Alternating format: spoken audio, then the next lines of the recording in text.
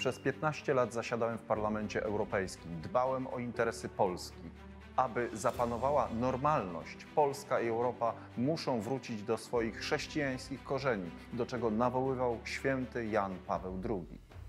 Chcę, by każdy obywatel czuł się bezpiecznie, miał stabilną pracę i nie musiał martwić się o przyszłość swojej rodziny. Dopilnuję, aby zreformowano polską służbę zdrowia, a rolnicy otrzymali pełne dopłaty. Polska wróci na należne jej miejsce w Europie. Podobnie jak wielu Polaków jestem zawiedziony obecną prezydenturą. Uważam, że lokator Pałacu Prezydenckiego przespał swoją kadencję.